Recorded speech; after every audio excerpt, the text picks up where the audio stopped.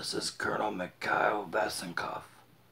He was a photojournalist and spy that lived between 1942 and 2022.